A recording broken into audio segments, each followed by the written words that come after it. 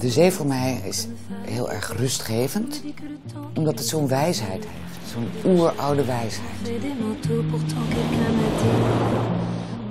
Marushka Detmers is nu 52. Ze woont gedeeltelijk in Parijs en gedeeltelijk aan de Normandische kust, aangetrokken door de zee. Ik ben altijd door de natuur heel erg uh, geïnspireerd geweest. Alsof de natuur een soort van magisch iets uh, uh, zou bevatten. iets dat meer van onszelf en van het leven af zou weten dan wij zelf. En Drenthe is, ja, staat daarvoor. Het land Drenthe. Verder staat het voor mijn familie, mijn, mijn gezin. Van het gezin. Mijn zusjes, mijn vader, mijn moeder. Zo, dit was het huis van de familie Detmers. Ja, moest ik daar zo naartoe. Mevrouw Pothoff was de hulp van het gezin. Maar sinds de scheiding van Maroeska's ouders in 1986 is ze steun en toeverlaat van vooral vader Detmers.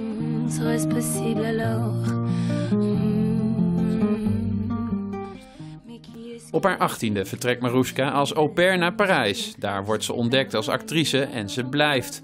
Haar eerste films zijn ook in Nederland te zien. Vooral sommige naaktscènes zorgen voor opwinding in haar thuisland.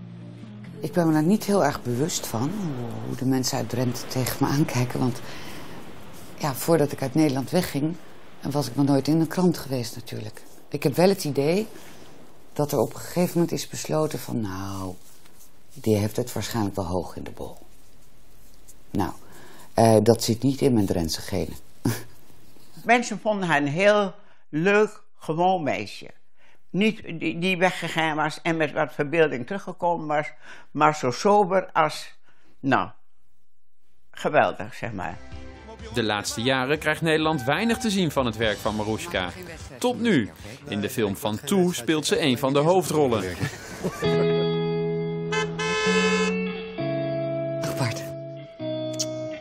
achterlijk gek op hem. Ja, waarom nou ineens een Nederlandse film? Ja, dat is het beantwoorden naar een plotselinge behoefte... Uh, om weer een beetje contact uh, op, ja, op te nemen met mijn wortels. Na het overlijden van, uh, van mijn vader. Dus betekent dat dan ook dat we je meer in Nederlandse films gaan zien? Ja, ik ben niet degene die daarover kan beslissen, maar dat hoop ik wel. Ik zei nog tegen haar, ik zeg nou, als je vader dat nog mee kon maken, dan was dat geweldig geweest. Want die vroeg wel eens, nou ik zou ik wel heel mooi vinden, als je nog eens in Nederlandse film zou spelen. Maar Marloes staat wel eens in een hele moeilijke periode.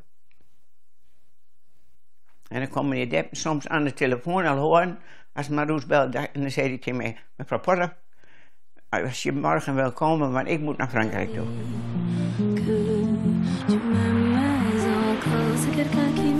Zonder je vaderland en je moedertaal. Moet je wel een beetje in gedachten houden.